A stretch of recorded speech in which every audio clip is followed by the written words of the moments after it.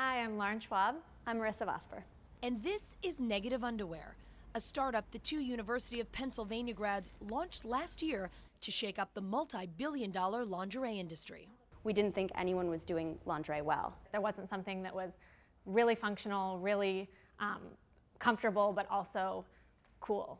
Something minimal, didn't have all of the embellishments, the bows, the lace, the push-ups. Working in branding and finance, they had no experience in fashion, let alone lingerie, so they started from the ground up. We um, went to FIT and took classes at night in fashion design and product development. We actually went to trade shows in New York and Paris looking at all different brands. We spent a lot of time in fitting rooms and lingerie stores in New York, trying on lots of different products in the market, critiquing what we didn't like, finding pieces that we did. They did all that on nights and weekends for four years while holding down their day jobs until February of 2014 when they launched a limited all black collection online, pricing bra and bottom sets around $100. We launched the collection with five bras, eight bottoms, and four t shirts.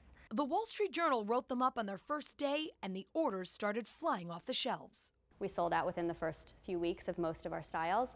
Um, we also broke even on our initial production costs within the first five days. Those costs entirely funded by Schwab and Vosper. The two made a commitment to be self-funded, and in spite of some very attractive offers, they've remained independent. Especially in today's day and age where everyone is raising money, it's certainly very alluring and tempting, but we've wanted to stay true to our vision, true to our brand. So far, it's working.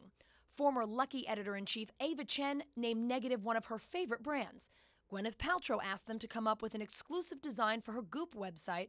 And just this week, Miley Cyrus was spotted in their brand new bodysuit on Instagram, which apparently she can't stop and won't stop wearing.